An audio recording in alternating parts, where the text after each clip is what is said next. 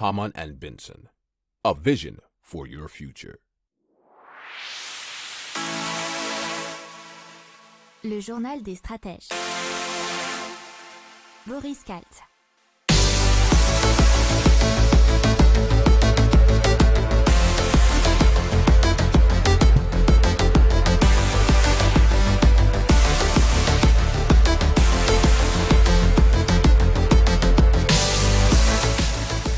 Bonjour à tous et bienvenue dans le journal des stratèges spécial tech et sciences aujourd'hui et on va vous parler de nourriture créée à partir de l'air, de tableaux connectés, de la possibilité d'allumer sa rue avec une app et aussi bah, du métaverse. Vous écoutez le journal des stratèges numéro 167 et ça commence eh bien tout de suite.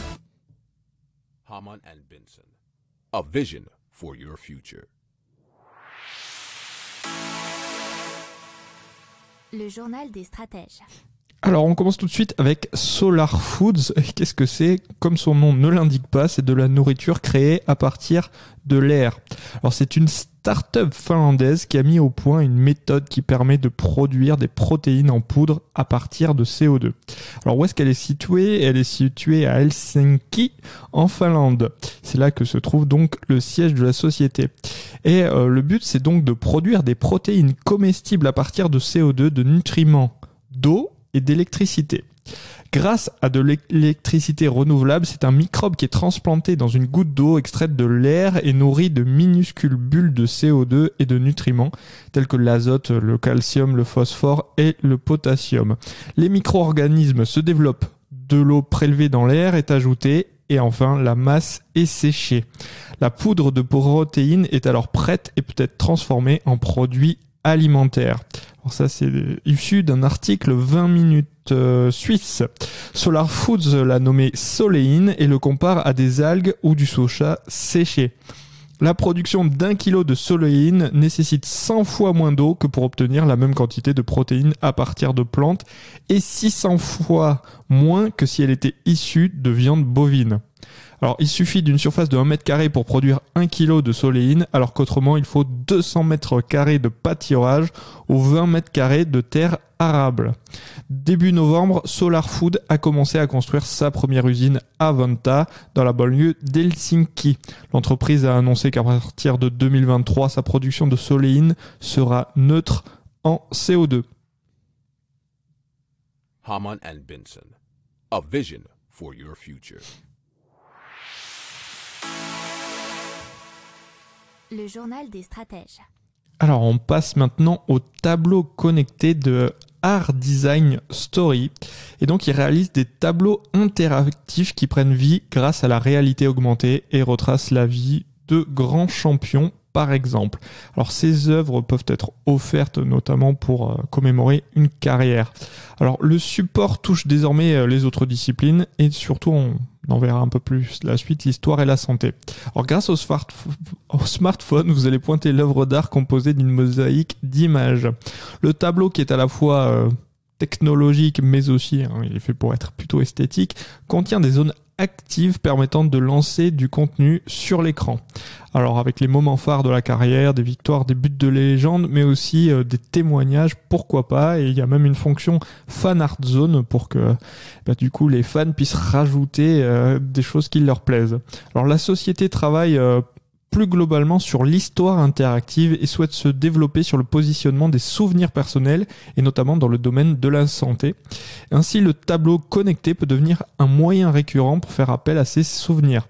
Il faut savoir que l'entreprise a déjà livré ses premières œuvres dans ces secteurs, euh, notamment les EHPAD si je ne me trompe. Art Design Story emploie une dizaine de collaborateurs et a réalisé un million d'euros de ventes depuis 2017 et poursuit son développement. Haman and Benson. A vision for your future. Le journal des stratèges. On continue avec J'allume ma rue. C'est une application mobile qui, comme son nom l'indique, est faite pour éclairer les rues la nuit.